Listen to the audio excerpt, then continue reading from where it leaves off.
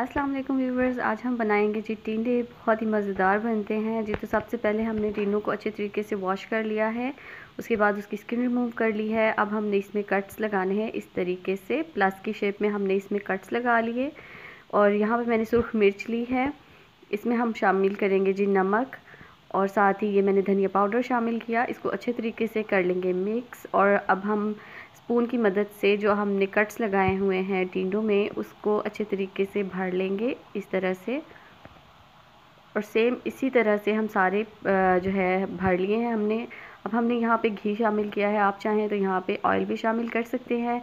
जी तो सारे टिंडे हम वन बाय वन इसमें शामिल कर देंगे और अच्छे तरीके से हम इसको कर लेंगे जी फ्राई जी तो जो साइड आपकी ब्राउन हो जाए, इसको अच्छे तरीके से जो है पलट लें ताकि दूसरी साइड को भी थोड़ा सा वो भी ब्राउन हो जाए और पक सके।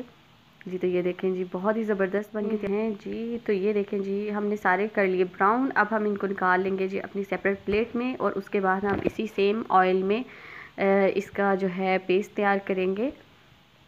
जी तो ये देखें बहुत ही ज़बरदस्त बन के तैयार हुए। इसमें हमने अब प्याज शामिल किए हैं। दो बड़े साइज़ के जॉइंट प्याज थे, उसको हमने जो है बारीक काट लिया था और इसको हमने इसमें शामिल कर लिया है। इसको हल्का सा नरम होने तक हम पका लेंगे, साथ ही टमाटर शामिल कर लिया हमने और हरी मिर्चें शामिल कर ली। इसको अच्छे तरीके से कर लेंगे जी मिक्स और जो हमारा मसाला बचा हुआ था, जो हमने स्टफिंग में फिल किया था सेम वही मसाला है। तो वो हमने इसमें शामिल कर लिया और दो चम्मच बड़े भर के अनारदाना कूटा हुआ शामिल कर लिया है।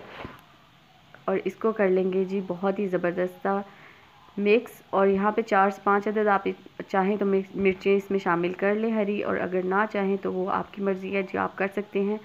और बाकी जो हमने फ्राई किए हुए टिंडे थे वो इसमें शामिल कर लिए और अच्छे तरीके से कर लिया। मिक्स फ्रेश कोरिएंडर लीव्स ऊपर ऐड कर देंगे और दम पे रख देंगे।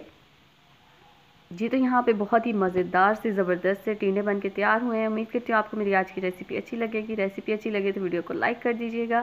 चैनल पे नए हैं तो चैनल को सब्सक्राइब कर दे। साथ ही साथ बेल आइकन को हिट कर दे ताकि लेटेस्ट वीडियोस की नोटिफिकेशन टाइम से आप तक पहुँच सके। साइनस किचन को दीजिए इजाज़त। अपना बहुत सारा ख्याल रखिएगा। दुआओं में याद रखिएगा। बहुत सारा प्यार। अल्लाह हाफिज़।